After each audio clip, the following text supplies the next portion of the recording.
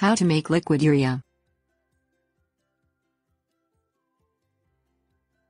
You can buy liquid urea, or the diluted urine of mammals, to fertilize your garden or lawn.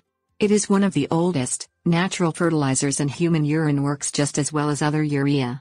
Human urea has the nutrients that plants crave, such as nitrogen, potassium and phosphorus. Using the proper urea collection and preparation methods at home can save you a lot of money in fertilizer costs and even help the environment by reducing the amount of toilet flushing in your household. Things you'll need Urine, Water, 5 gallon bucket with lid, Baking soda, Long stick. Urinate directly into the 5 gallon bucket. Continue to use the bucket for urine collection and cover the bucket with its lid between urinations to minimize the odor in your home. Do not mix fecal matter in the bucket.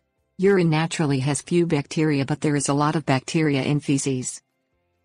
Fill the rest of the bucket with water when there is approximately 1 gallon of urine in the bucket, i.e. that the bucket is one-fifth full of urine. Dilute the urine at least 5 to 1 because it is a very strong fertilizer in its concentrated state. The dilution also allows you to apply the urea to a larger area of plants. Add 5 teaspoons baking soda to the bucket and stir the mixture with a long stick. Urine, over time, changes into an acidic ammonia that can harm your plants. The baking soda neutralizes the ammonia acid and makes the liquid urea a safe fertilizer. You can then pour the liquid urea around your plants to help them grow.